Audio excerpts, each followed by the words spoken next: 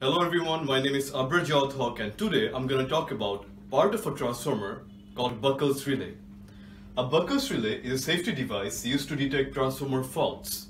It is mainly used in large oil immersed transformer for more than 500 kVA rating. Here you can see a picture of a 500 kVA power transformer. A Buchholz Relay is mainly situated between a conservator tank and a transformer tank, right here.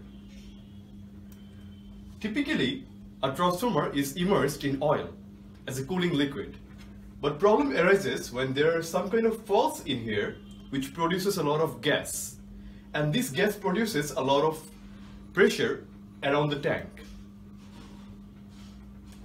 A fault can be a short-circuited core laminations, it can be a short circuit between a phase and the earth, it can be overheating of the transformer winding, and it can also be a oil leakage. Here is a diagram of a simple Buchholz relay. Here you can see the oil level and two floats. During some minor faults, the gases accumulates in the upper chamber and these floats activate the alarm circuit.